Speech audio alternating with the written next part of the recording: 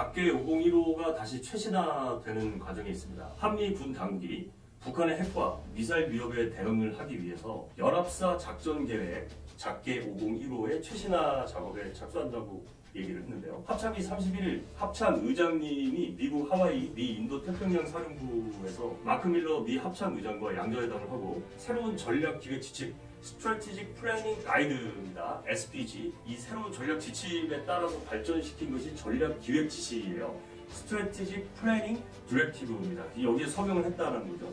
이게 서명을 했다는 건 어떤 의미가 있냐면 앞으로 새로운 전략 기획 지시에 의해서 작전 계획을 새롭게 바꾸겠다는 걸 말을 하고 있어요. 작년 12월 한미 국방부 장관이 한미 연합 안보 협의회를 했죠. 그 연례 회의인데 SCM이라고 합니다. 그래서 북한의 핵과 미사일 위협에 대응하기 위해서 작계를 수정을 해야 되고 SPG를 승인한 데 따른 후속 조치가 바로 이제 작전 계획의 업데이트가 되는 거죠. 이거는 어떤 의미가 있냐면 연합 전력 및 작전 기획 체계가 전작권 전환에 대비해서 합참 이게 이제 우리나라잖아요. 이제 앞으로 미래 사령부가 되겠죠. 합참 주도의 공동 기획 체계와 절차를 수립하고 준비를 하고 있는데 전작권 전환 조건이 일단 우리가 무조건 받고 싶다고 받는 게 아니에요. 미국이 한반도에서 한국군이 독자적으로 작전을 수행할 수 있는가라는 것을 보고 결국은 어떻게 보면 이제 연합사 주도하에 공동 기획 절차로 변경이 되는 거죠.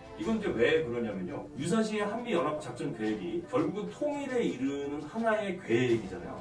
대한민국은 평화적 통일을 지향을 하지만 어쨌든 북한의 무력 도발이 자행이 될 경우에는 이건 전쟁이 불가피한 거죠. 그렇게 되면은 한국군의 전쟁의 목적은 바로 대한민국 이 한반도의 통일이 되겠죠. 그래서 연합사 작전 계획을 대한민국의 전쟁 목적을 달성할 수 있게끔 해야 되기 때문에 즉 한반도의 통일을 달성할 수 있게끔 해야 겁니다.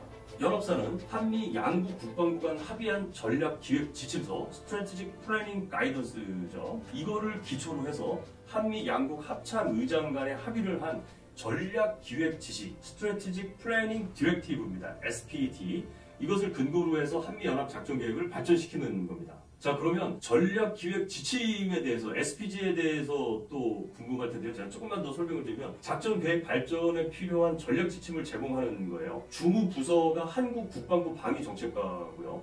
미국은 국방부 기획부 차관부실에 이제 연합사령부로 보면 이제 기창부 계획처가 되겠죠. 이런 데서 이런 그 목적, 개요, 그 다음에 이제 어떤 어썸션, 가정, 그리고 동맹의 목표, 전략적 최종 상태, 전략적 고려 사항 등을 보는 것이 이제 작전 기획 지침이 되겠고요. 전략 기획 지시라는 거죠. Strategic Planning Directive입니다.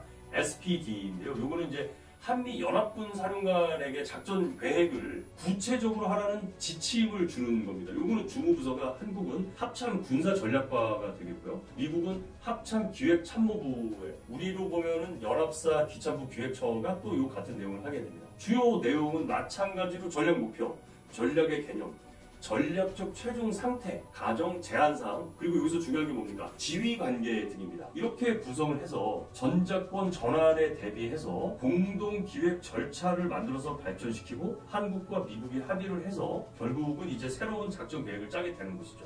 결국 이 신작계에 들어가야 될 내용 중에 하나는 최근에 고도화된 북한의 핵미사일 능력을 볼 수 있겠습니다. 우리가 북한의 핵미사일을 방어하지 못하면요. 즉, 선제 타격이라는 것이 왜 중요하냐면 우리가 맞고 난 다음에 반격을 하는 것은 의미가 거의 없고 맞고 난 다음에는 반격조차 할 수가 없는 게 바로 핵미사일이기 때문에 그렇습니다. 결국은 작계를 최신화하는 이유는 바로 북한의 고도화된 미사일 능력 이것에 대비하기 위해서 작계 501호가 기존에 합의된 SPG에 따라서 작성을 하게 되는 것이고 이제 SPD가 서명이 되었기 때문에 이 SPD를 근거로 해서 보다 구체적이고 체계적으로 발전을 시키는 것이죠. 자 이제 작계라는 거는요 이렇게 SPD가 서명이 됐다고 해서 그런 거 바로 훅 바꾸고 하면 좋겠지만 사실 그런 건 아니고 이때부터 연합사 합참에 있는 각 담당 장교들이 엄청나게 많은 변수들을 고려를 해서 특히 북한의 미사일 위협 이제 여러분들 잘 아시는 이스칸다르 M 같은 경우는 종말 단계에서 다시 한번 pull-up 기동을 하기 때문에 기존의 미사일 방어 체계로는 조금 더 신경을 더 써야 되는 부분까지도 작계에 넣어야 되는 거죠. 그리고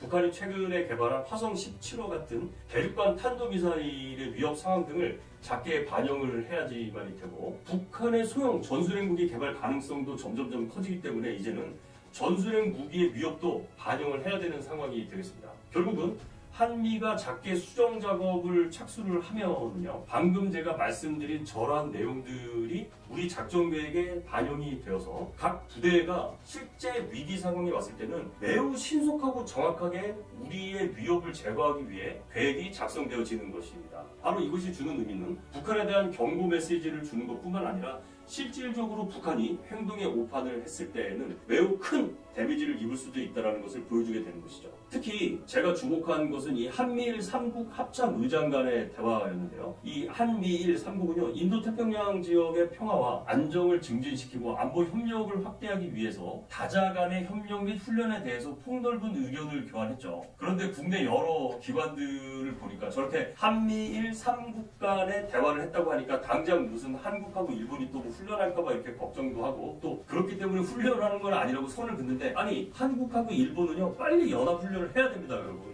북한의 저 핵 위협이 저렇게 상존하고 있는데 우리나라만 가지고 북한의 핵을 견제하기는 너무 힘들어요 일본의 군사 자산이 우리 북한을 견제하는데 플러스가 되어야지 훨씬 더 견제를 하기가 좋겠죠. 한미일 동맹만큼은 특히 군사 동맹만큼은요 빨리 구축이 돼야 됩니다. 결국 이렇게 한미일 다자 협력 및 훈련에 대해서 폭넓은 의견을 교환을 함으로써 삼국의 군사력과 삼국이 가지고 있는 다양한 군사 자산들을 서로 필요에 따라서 쉐어링할 수 있다는 것은 굉장히 중요한 거죠. 그렇기 때문에 지소미아 같은 게 굉장히 중요한 겁니다. 왜? 우리가 탐지한 북한의 미사일과 일본에서 탐지한 북한의 미사일은 일본은 측면에서 바라보기 때문에 우리가 정면에서 바라볼 때 보지 못하는 음영 지역을 일본에서는 측면으로 바라보면서 보다 정확한 정보를 우리에게 조기 경보를 줄 수가 있겠죠. 이런 것들은 삼국 군사 협력의 가장 중요한 의제가 될 것입니다. 자, 결국 한미는 새로운 작계 501호에서 미 본토를 겨냥한 ICBM 위협과 북한의 전술 핵무기 위협 등을 구체적으로 대응하기 위한 계획을 만들게 될 것입니다. 거기에 추가로 북한이 가지고 있는 중거리 탄도미사일과 극초음속 미사일 등 북한의 전략적인 기술 발전도 당연히 고려를 해야 되겠죠. 자, 이런 변화에 대응을 하기 위해서는요, 결국은 우리 군도 우리 군이 가지고 있는 군사 자산이 어떤 능력을 가지고 있으며 또한 미국을 보호를 하고 일본도 보호를 하면서 우리가 위기 상황이 되었을 때는 미국의 도움도 받고 일본으로부터의 도움도 받아야 하는 여러 가지 가능성을 시나리오에 넣어줘야겠죠. 결국은 SPG가 작게를 수정하거나 새로 짤 때 그 기본 방향을 담는 거라면 SPD는요, 이것을 구체화한 가이드라인에 해당한다고 보시면 되겠습니다. 결국은 작게 5027에서 북한의 급변 사태 때문에 작게 5029가 생겨나게 됐고요. 그리고 북한의 국지 도발이나 핵과 미사일 등 대량 살상 무기에 대한 공격, 사이버 공격, 생화학 무기 공격 등에 대비해서 작게 5015가 생겨나게 된 것이죠. 결국은 한미 연합군의 대응 계획이 통합되어서 발휘되는 것이 바로 작게 5015가 되겠습니다. 자 이렇게 한국 국방부와 합참이 미 측과의 협의 및 작성 과정에서 미국 주도의 작전 개념 발전이 너무 많이 되었기 때문에 이제는 한국군의 주도로 한국의 전쟁 목적과 한국의 전쟁 의지 그리고 한국의 작전 목표를 좀 더 구체적으로 실어서 5015에 넣을 필요가 있겠고요. 한국군의 이 전략 지침과 작전 계획서를 잘 다져서 특히 한국의 무기 체계가 점점 점점 발전을 하고 있죠. 이러한 것들이 우리의 대응 능력에 포함이 되어서 작전 계획 주기를 아,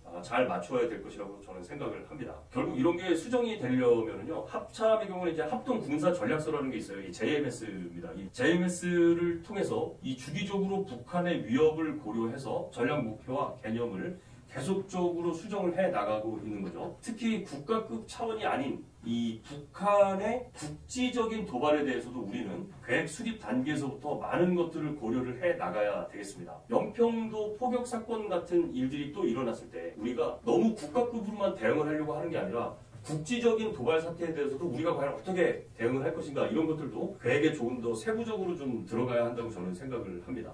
결국은 전략적 수준에서 한미가 공통 인식을 해야 되는 것들이 있고요. 한미의 공통 목표가 있을 거기 때문에 이런 것들을 상호 대화와 상호 공개를 통해서 보다 계획을 촘촘하게 만들 필요가 있습니다. 자, 결론적으로 이번에 작계 5015가 수정이 되면요. 한국군의 작전계획 수립의 전문성 향상을 위해서 한미 공동 기획 참모단을 좀 구성을 했으면 좋겠고요. 저는 작전 계획을 수립할 때 각 군이 가지고 있는 군사 자산을 조금 더 명백하게 좀 표현을 했으면 좋겠고요. 북한의 핵과 미사일 위협에 대비한 킬체인, 한국형 미사일 방어 체제인 KAMD, 그리고 한국의 대량 응징 보복 체제인 KMPR 등과 같은 우리나라의 고유한 작전 능력 또한 반드시 포함이 되어서 적이 어떠한 도발을 하거나 오판을 할 때 그들이 굉장히 크게 후회할 수 있을 수 있다는 정도의 작전 계획을 만들 수 있다면 좋겠습니다.